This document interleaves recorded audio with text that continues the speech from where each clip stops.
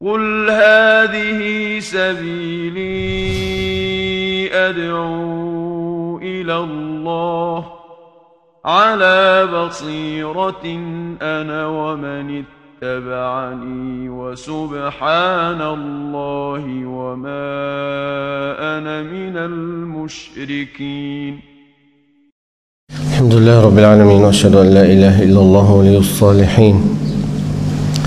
وأشهد أن محمدا عبده ورسوله صلى الله وسلم وبارك عليه وعلى آله وأصحابه ومن تبع هداه إلى يوم الدين. أما بعد فقد قال الشيخ الإمام الحافظ أبو عبد الله محمد بن إسماعيل بن إبراهيم بن المغيرة البخاري رحمه الله تعالى في كتاب الجهاد والسير. باب لا تمنوا لقاء العدو. حدثنا يوسف بن موسى قال حدثنا عاصم بن يوسف اليربوعي قال حدثنا أبو إسحاق الفزاري عن موسى بن عقبة قال حدثني سالم أبو النضر مولى عمر بن عبيد الله. كنت كاتبا له. قال كتب إليه عبد الله بن أبي أوفى حين خرج إلى الحرورية. فقرأته فإذا فيه إن رسول الله صلى الله عليه وسلم في بعض أيامه التي لقي فيها العدو انتظر حتى مالت الشمس. ثم قام في الناس فقال يا أيها الناس لا تمنوا لقاء العدو وسلوا الله العافية فإذا لقيتموهم فاصبروا واعلموا أن الجنة تحت ظلال السيوف. ثم قال اللهم منزل الكتاب ومجري السحاب وهازم الأحزاب اهزمهم وانصرنا عليهم. وقال موسى بن عقبة حدثني سالم أبو النضر كنت كاتبا لعمر بن عبيد الله فأتاه كتاب عبد الله بن أبي أوفى رضي الله عنهما أن رسول الله صلى الله عليه وسلم قال لا تمنوا لقاء العدو وقال أبو عامر حدثنا مغيرة بن عبد الرحمن عن أبي الزناد عن الأعرج عن أبي هريرة رضي الله عنه أن النبي عن النبي صلى الله عليه وسلم قال لا تتمنوا لقاء العدو فإذا لقيتموهم فاصبروا باب الحرب خدعة.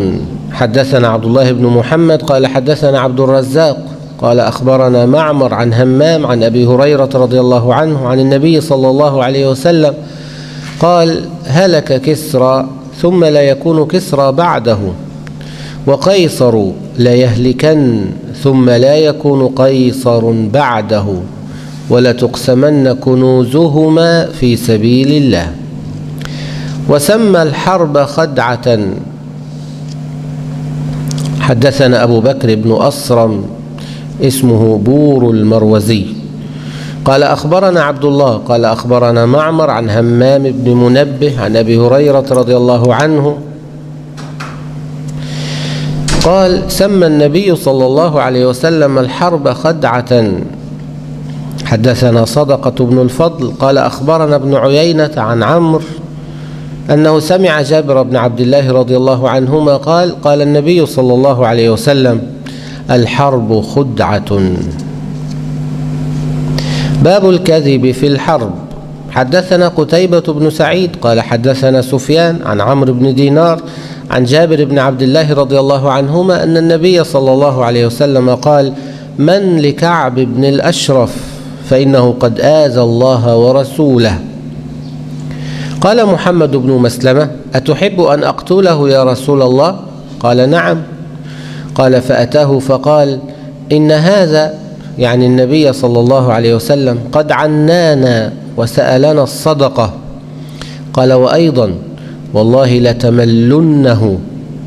قال فإنا قد اتبعناه فنكره أن ندعه حتى ننظر إلى ما يصير أمره.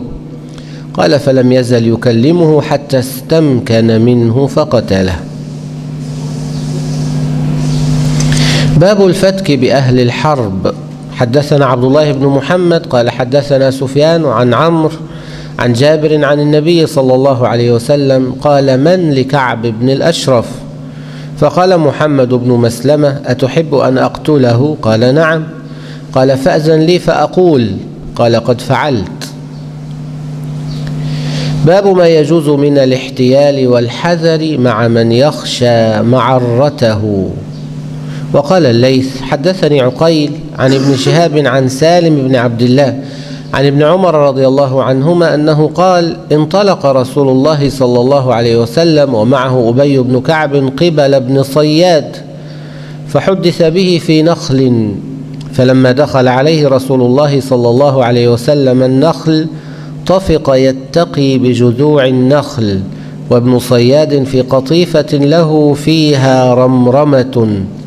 فرأت أم ابن صياد رسول الله صلى الله عليه وسلم فقالت يا صافي هذا محمد. فوثب ابن صياد فقال رسول الله صلى الله عليه وسلم لو تركته بين باب الرجز في الحرب ورفع الصوت في حفر الخندق. فيه سهل وأنس عن النبي صلى الله عليه وسلم وفيه يزيد عن سلمة. حدثنا مسدد قال حدثنا أبو الأحوص قال حدثنا أبو إسحاق عن البراء رضي الله عنه قال رأيت رسول الله صلى الله عليه وسلم يوم الخندق وهو ينقل التراب حتى وار التراب شعر صدره وكان رجلا كثير الشعر وهو يرتجز برجز عبد الله. اللهم لولا أنت ما اهتدينا ولا تصدقنا ولا صلينا فأنزلا سكينة علينا وثبت الأقدام إن لاقينا إن الأعداء قد بغوا علينا إذا أرادوا فتنة أبينا يرفع بها صوته